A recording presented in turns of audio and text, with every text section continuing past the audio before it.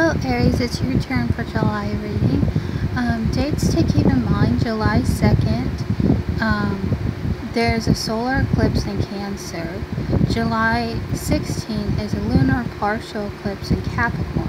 So if you have any of those in your chart placements and also uh, I believe or uh, July 1st is when Mars goes into Leo. So fire is kind of like you know, in your element to fire. So um, that could affect you in some way. Also, we're, right now we have the Saturn, um, Pluto, and I believe uh, Mercury going retrograde. So, um, you know, keep that in mind. Alright, let's get into reading. I pre-shuffled the cards, so all I need is this. So, the Queen of Wands. Tower, the Three of Pentacles,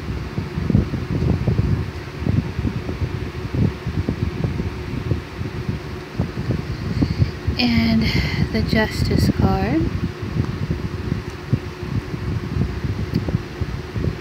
And the Six of Cups in reverse, Ace of Wands, Five of Pentacles, the Devil card in reverse, Eight of Pentacles in reverse, Four of Pentacles, Four of Swords, and the Judgment card. So I feel like Aries going into this month, you have the Queen so that's pretty much in your element.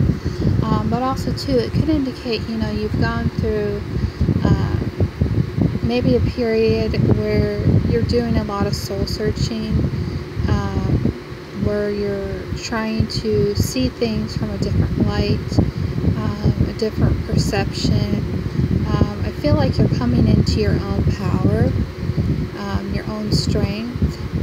Maybe you've gone through a period of you know, not really um, wanting to take action in things or uh, maybe just sitting um, in your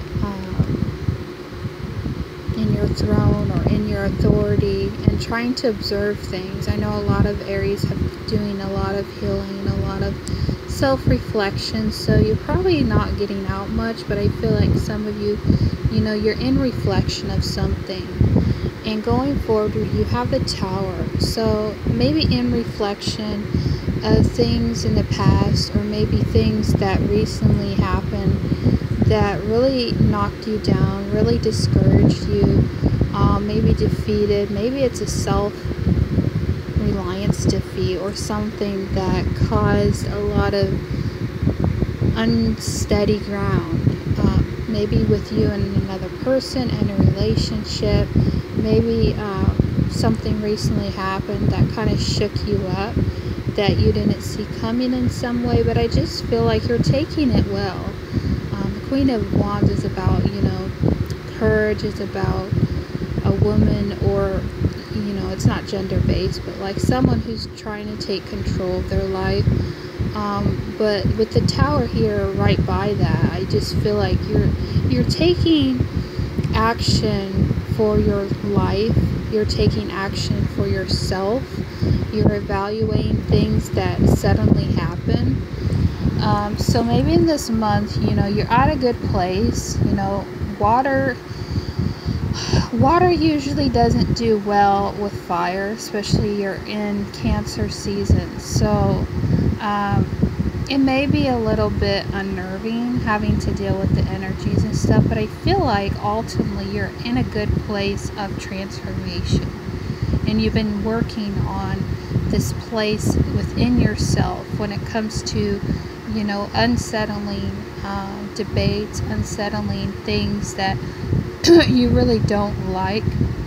But I feel like you're working on those things because also the three of um, so you're you're working on those things that make you feel uncomfortable Um, you're working with people. You're working um, within yourself, and I feel like this is such an improvement. You know, you've been trying trying to understand why things didn't work. Like in the past, you could have been reflecting on something that why can't it work together?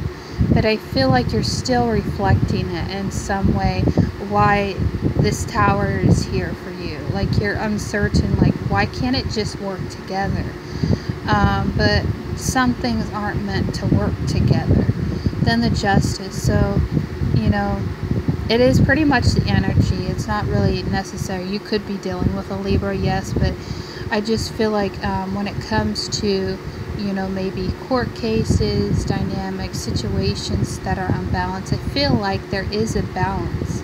You know, the tower here is to shake up your world or shake up things within your relationship dynamic, but I feel like you're trying to understand things a lot better and try not to come from a place of, you know, victimization, but you're really understanding that some things are meant to happen. Um, and it's not really questioning it anymore if it was a past dynamic when it comes to working with people. But I feel I feel like you're taking it good or taking an inventory of what happened or recently has happened. But I feel like you're trying to in the midst of this chaos, you're still trying to work together um, and bring that balance. So you could be a little bit shooken up by something, but I feel like you're taking it well. So a nine or six of cups. So yeah, something that's involving other people. You know, it could be a family dynamic. It could be, you know, kids involved. Um, maybe you're involved in a family dynamic situation of the past, or you're still considering these things. Um, but I just feel like whatever the situation is in July, I just feel like you're you're trying to withstand this storm or this tower moment as best you can. I feel like you're trying to work through a difficult situation, whether it involves people, whether it involves, you know, working with them in some form or dynamic, but you're trying to bring a balance in this chaos energy.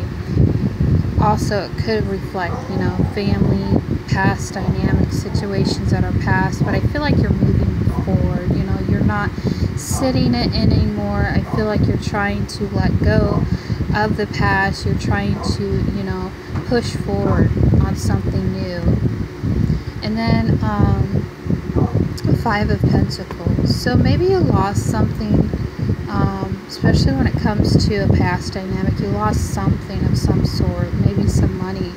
Um, maybe you lost your stability within a relationship that you wanted to work. Uh, or this other person wanted you to work with them. Um, but maybe in some cases you felt left out in the cold. You felt like there's no way to work on this when I want to move forward. Um, maybe you're struggling with that. Um, but I feel like you're overcoming that. Um, a lot of you have been healing, a lot of you have been taking time out for yourself to really reflect on letting go of things in your life that don't serve you. But also, there's still some chaos here. And then you have the devil reverse. Yeah, setting yourself free. So I feel like you're setting yourself free. You're letting things go. You're letting these power struggles not not pierce you down anymore and I feel like you're moving forward. You know, it may have been a challenge when this tower came in and I just feel like it was to push you to move forward, not to make you feel lonely or out of the cold or feel like you don't have all the love in your heart, whether it's a family dynamic situation going on. You know, you still are hopeful to work with them, I feel like whoever that may be, but I just feel like, you know, you're trying to free yourself from it.